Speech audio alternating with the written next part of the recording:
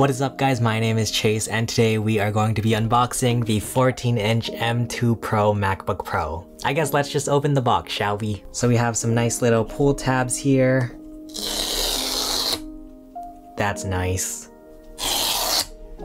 Wow, let's do this boys and girls. Ta-da! Wow.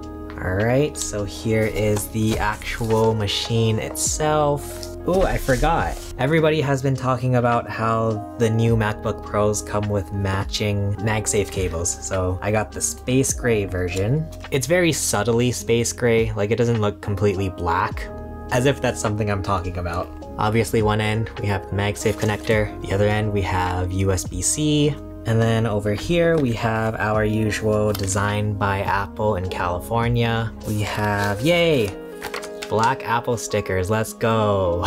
I love the Apple stickers. That's arguably my favorite part of every Apple unboxing. and then we also have like a quick start guide here.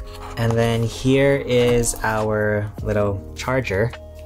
I don't know if I'll be using this because I do have my old one, but it's good that it comes with it. Anywho, let us get to the thing itself. Here we go, boys and girls. Wow. There's the MacBook Pro. And then here is our big Apple logo. Yeah, so the 14-inch M2 Pro MacBook Pro looks pretty much exactly like the M1 Pro MacBook Pro. We have ports galore, we have the MagSafe adapter, two USB-Cs, headphone jack, and then on the other side we have HDMI, another USB-C, and an SD card reader. Well, how about let's open this up and see what happens. Wow. And there's the startup.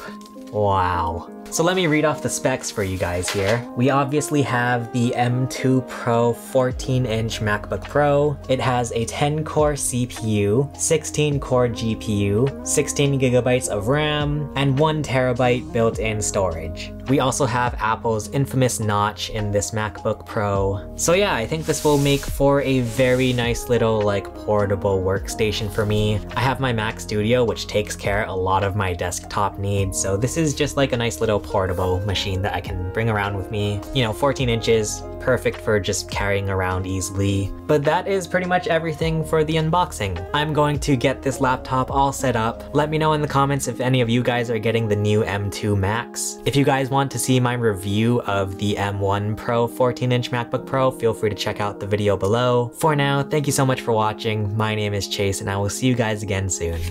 Bye.